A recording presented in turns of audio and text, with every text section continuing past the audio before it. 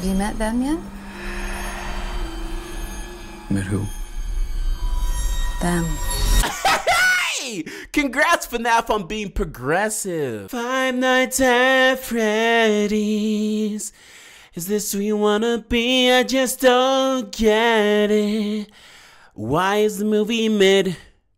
Movie's kind of mid, I ain't gonna lie. Five Nights at Freddy's is an amazing video game movie, but a very, very bad horror movie. This movie I've been waiting to come out for quite a while just to see how he would translate it into an actual movie. I thought he was actually going to give it a lot of substance, a lot of flavor, and actually go deep into the horror aspects of this movie, this uh, franchise he's built but sadly that didn't happen. This movie is very much a love letter to fans, or at least if you read the books, or if you like, you're not a newer fan per se, because the older fans, uh, even the older fans, I, I don't think we got all of our questions answered, because, you know, he was planning on a sequel instead of like making a good standalone. I think this movie is good for what it is and it has a lot of good references. I was smiling throughout majority of the movie and like sort of intrigued about some of the answers that were being given, if and if you can call them answers. I think it's an absolute treat for fans, and this is also a problem I need to talk about because I feel FNAF it used to be very horror related and very dark and like scary, like scary, but like, you know, psychological. The original story is about five kids being lured in by this man and killed and stuffed in the suits, which I think was very dark, very creepy, very scary.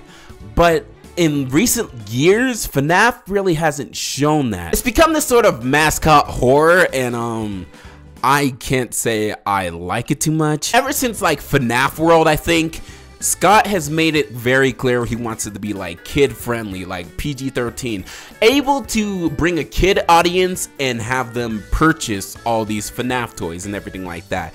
And it sucks to see the movie really get hurt by that ideology. There's actually a lot of surprising moments, and there is some gore in the movie, which I was very surprised at. Like the PG 13 rating, they kind of push the limits of it, which I'm very appreciative of, but it's just not a good horror movie. It's so alienating to people who are newer to the franchise and also it's just like it doesn't really create a story. Majority of the characters you see in this movie don't really get fleshed out at all and you had two hours to do it you had double the runtime of most movies and most movies are able to do that within like 30, 40, 50 minutes. The problem with FNAF is that like you have to kind of know who these characters are in order to get any value or understand their motives, their intentions. Like the only character I think is like genuinely a decently written character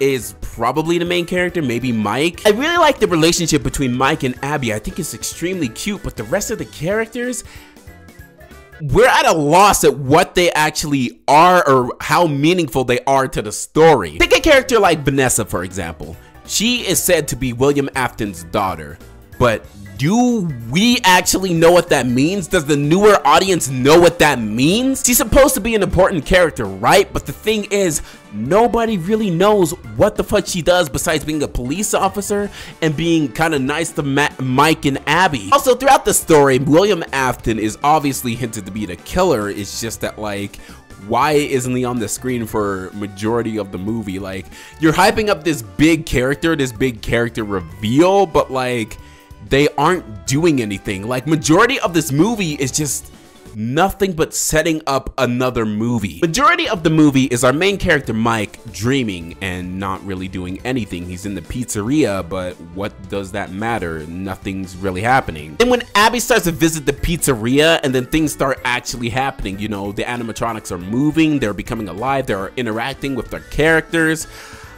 it becomes super goofy and super funny, something I can't wipe off. Like goofy and funny moments in horror movies are absolutely no problem at all. It happens all the time, like with Freddy and Jason. The issue is that they know when to be serious. There's goofy moments in Freddy and Jason, but the thing is, is that they keep the horror aspect, and throughout FNAF, I just didn't feel any horror going on. I think I think that was just lost. Also, there wasn't that many jump scares, which I'm very thankful of. I'm not a person who enjoys jump scares. I enjoy atmosphere. It's just that there was no atmosphere. Like, I feel like FNAF is one of those movies that probably needed the jump scares because there was just nothing going on. Like, when the animatronics start to kill, how am I supposed to take this seriously when they're going, but dum dum dum? How do I take it serious? And then Vanessa randomly turning against Mike when Abby gets like hurt. She just turns like she her character does like a 180 and she's like, "No, you shouldn't be here and I'm going to fucking shoot you." Like, what the fuck? Springtrap's whole appearance it wasn't menacing. It was very it was very nice to see the suit in action, but you know, the lines of dialogue it wasn't the actor's fault. It was not the actor's fault at all. It was just that like it was so fucking goofy. I could not stop laughing. Yeah, this movie is goofy as fuck.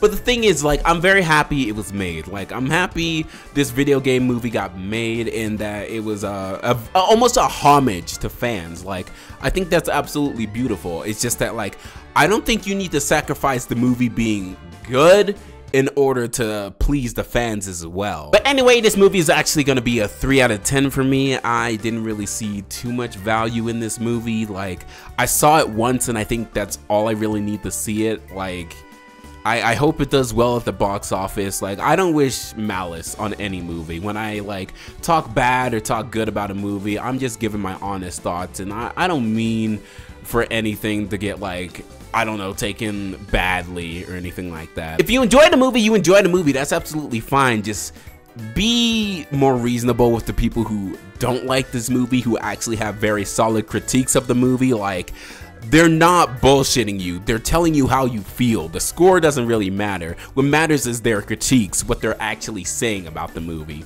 But that's all I have to say. Anyway, how's it going, pups? It's AK9, and I'm why am I wearing cat ears? Like, I get it's Halloween, and I said I wanted to do something for Halloween because I never do anything for Halloween. But these cat ears, they're not doing it. This life is not for me, bro.